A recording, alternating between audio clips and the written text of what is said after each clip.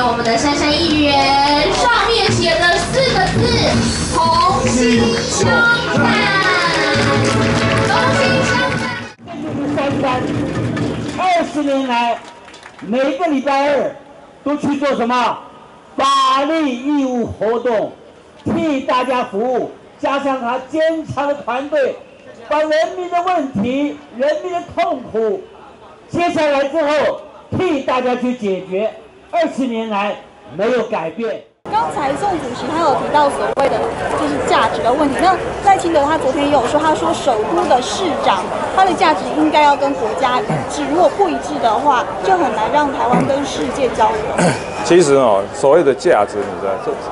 我倒觉得这样的哦，爱民，你知道哦，把人民的福祉当做一个很重要的一件事情，甚至把它当做最，我们英文叫 the first priority 哦，第一优先的话，其实我都能把人民的福祉放在放在最优先的考量。后来我把那个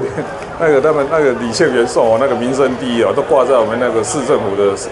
那开会的地方，民生第一的，其实还是一样哦，把人民的福祉当做最重要一件事情来思考的时候，其实跟中央地方没有不会有什么叫不同调的问题。因为我今天哦还在跑摊，你知道，我晚上回家哦打电话给我妈妈问问清楚她到底在想什么。坦白讲，我妈妈哦，我发现我们家的女人都很有意见，都蛮有主见的，不管是我妈妈、我太太的，甚至我的秘书，哦，每一个都很有意见的。市长好像现在对于二零二零这个话题都不愿意把话说死。